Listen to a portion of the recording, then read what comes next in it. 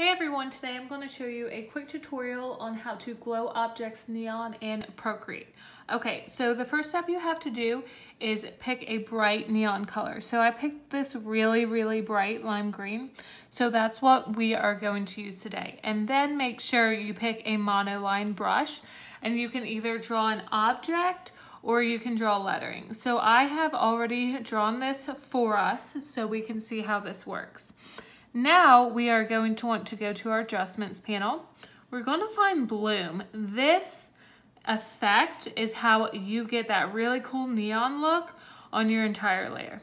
So we're going to tap layer. Okay, so we want to make sure that the size is around 45 and the burn is around 45 and that your bloom is around 45 as well.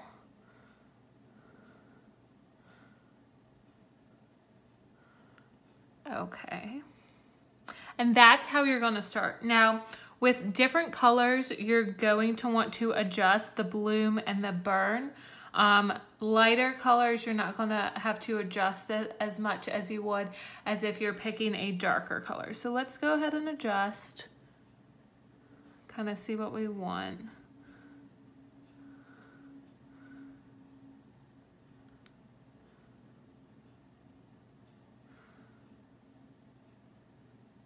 Kind of like that one a little bit brighter, maybe at 50.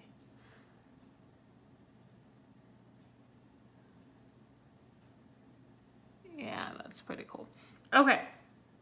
So that's all we have to do to make something neon. So I have a couple different examples of what you can do. So this one looks awesome. I love it. Let me show you a couple other ones. So I did this hello. And then I also did this really cool coffee mug. I did a little palm tree. And I also have um, a couple different examples right here um, to show you because before we had the bloom tool, we were able to glow things neon with Gaussian blur. And I know some people still use Gaussian blur to, to make things really cool in neon, but I don't love it. And so right here, I have an example of where I used Gaussian blur to do the neon effect.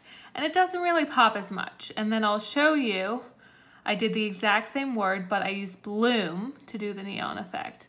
Totally different, right? So with the new bloom tool, that's pretty much all I'm using to get this neon effect and Gaussian blur doesn't really do it for me anymore. So it's really up to you as to what you want, but I'm Team Bloom and I love it. And I'm so excited to show you this feature because it's really fun and cool and you can do a ton of different things with it. So thanks so much for watching and I'll see you next week.